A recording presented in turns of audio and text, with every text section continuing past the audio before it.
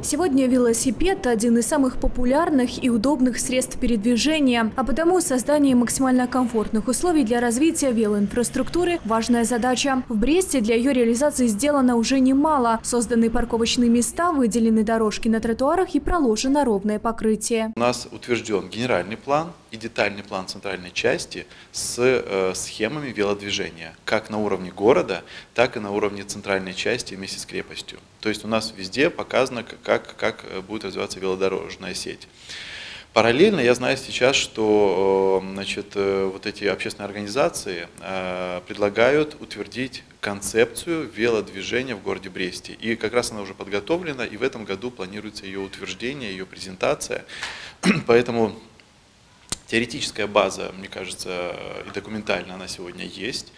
Все, что новое сегодня строится, новые улицы, новые путепроводы, они строятся с учетом велодорожек. Дорожные, шоссейные, горные, туристические. О том, что сегодня большое количество людей пользуются различными видами велосипеда, отмечает и Марина Чиж. Активистка движения «За Брест» подчеркивает, по статистике сегодня в городе над Бугом около пяти тысяч горожан практически ежедневно используют велосипед. По нашим исследованиям, по опросу, 27 тысяч велосипедистов в Бресте месте, точнее не велосипедистов, а людей, потенциальных велосипедистов, хотели бы пользоваться велосипедом, будь на это комфортные и, самое главное, безопасные условия. Хочется сказать всем, что вся информация о развитии велосипедного движения в Бресте находится у нас в группе «Завела Брест». Группа находится в социальной сети ВКонтакте.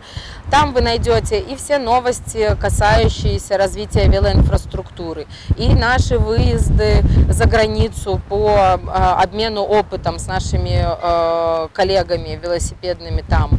И э, вы узнаете о всех массовых покатушках, и о фестивалях, и о различных формах велосипедных. То есть обо всем том, что происходит в нашем городе и во всей Беларуси по развитию велосипедного движения. В Бресте уже не один год реализуется концепция «Симбиосити. Умный город». В рамках ее реализации участники программы пришли к идее развития в областном центре велошеринга, возможности взять на прокат велосипед и оставить его в конечной точке своего маршрута. Обычно подобные прокаты используются для коротких и спонтанных поездок. К слову, в реализацию концепции включились представители горисполкома и группы компаний Steam, сотрудники ГАИ и велоактивисты. Всего в нашем городе планируется планируется установить несколько пунктов проката. Семь станций по городу мы подготовили всю инфраструктурную сеть, то есть э, велодорожки уже подготовлены, осталось только расставить станции. Э, мы это уже не раз анонсировали, возникает вопрос, наверное, у телезрителей, когда же это будет.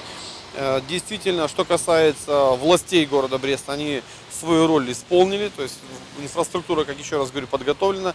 Ввиду там э, ну, временных э, финансовых трудностей наших партнеров из города Минска, которые сегодня в этом проекте участвуют как технический сопровождающий элемент, я думаю, к концу года точно, но очень хотелось бы успеть к Дню города все-таки расставить и показать брещанам, что же это такое. Сегодня велосипед не роскошь и не развлечение, это транспортное средство, а потому велосипедист наравне с автомобилистами и пешеходами становится активным участником дорожного движения. А благодаря сезонным погодным условиям наблюдается увеличение интенсивности движения велосипедистов, в связи с чем возрастает риск травмирования любителей двухколесного транспорта. Согласно пункта 148 правил дорожного движения, движение на велосипеде должно осуществляться по велосипедной дорожке.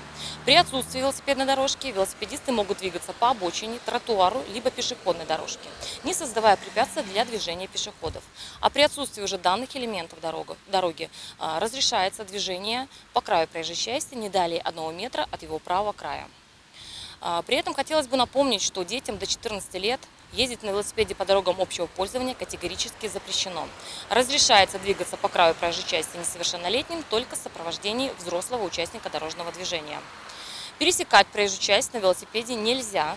Необходимо спешиваться и, переводя велосипед в руках, переходить дорогу. Это не касается экспериментальной дорожной разметки, э, выделенной полосы для велосипедистов на проезжей части. Но при этом, как показывает практика – это небезопасно. Мечтать об идеальной велоинфраструктуре в нашем городе пока рано, несмотря на то, что стратегия по ее развитию определена. Работа комплексная и длительная, однако маленькими шагами мы должны прийти к большому успеху. Велосипед более мобильная, удобно передвигаться, куда захотел, туда поехал. Ну и те же самые затраты, то что на автомобиль, на обслуживание, на бензин и на все налоги, которые велосипед этого не требует. На велосипеде я катаюсь очень давно, потому что это довольно удобно и помогает пересечь э, довольно большие расстояния за короткий промежуток времени. Это очень удобно. Э, Также это намного лучше, чем ездить на машине, потому что свежий воздух, друзья, это можно поразговаривать, это весело. Я без велосипеда практически не выхожу, потому что пешком ходить сложнее, чем ездить на велике. Преимущество, прежде всего, состоит в том, что это экологически чистый вид транспорта. Когда едешь на велосипеде, ты заботишься об окружающей среде и ну, в целом улучшаешь свое самочувствие, здоровье.